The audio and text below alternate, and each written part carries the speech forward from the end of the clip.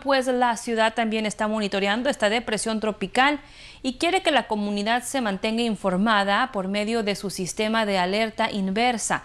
Lo único que tiene que hacer para inscribirse es visitar la página que aparece en su pantalla. Y los trabajadores de la ciudad también se han estado preparando en anticipación a los posibles aguaceros que la depresión tropical pudiera dejar caer en nuestra zona este fin de semana. Ellos estuvieron en la playa norte limpiando las áreas de drenaje y alcantarillados, removiendo basura y escombros para evitar inundaciones. La playa norte, como muchos saben, es un área propensa a inundaciones cada vez que llueve muy fuerte. En la playa norte hay inundaciones. Cada vez que llueve se inunda aquí. Y escuché que se está formando un huracán. Entonces, la última vez que pasó un huracán aquí, parecía que estábamos bajo el agua.